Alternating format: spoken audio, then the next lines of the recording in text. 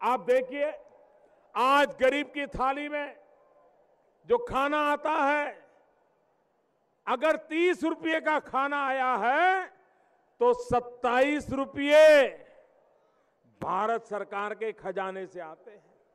अगर आपको गेहूँ सस्ता मिलता है, चावल सस्ता मिलता है तो ये इसलिए सस्ता मिलता है कि भारत सरकार गरीब भूखा न रहे इसलिए अगर आपका तीस रुपये का खर्चा है तो सत्ताईस रुपये भारत सरकार देती है। आप मुझे बताइए, अब ये गरीब का पेट भरने की अच्छी योजना है कि नहीं है? अच्छी योजना है कि नहीं है? गरीब को दो टाइम भरपेट खाना मिलना चाहिए कि नहीं मिलना चाहिए? अब भारत सरकार पैसे देती हो, लेकिन अखिलेश जी की सरकार इन गरीबों की लिस्ट ही ना दे तो वो गरीब का पेट भरेगा क्या? नाम नहीं दे रहे, पचास लाख रुपया वो हमसे ले नहीं पाए। क्यों? क्योंकि उनके पास सूची नहीं थी पचास लाख लोगों की।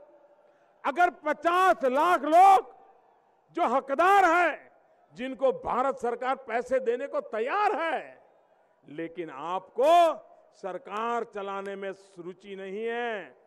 कभी इसको गले लगाओ, कभी उसको गले लगाओ, कभी इसको लात मारो, कभी उसको लात मारो, यही करते रहते हो।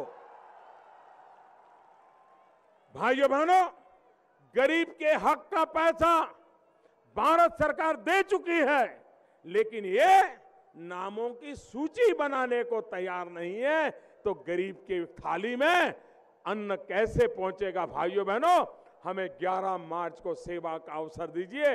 ये सारी कमियाँ हम दूर करने के लिए आपको वादा करते हैं।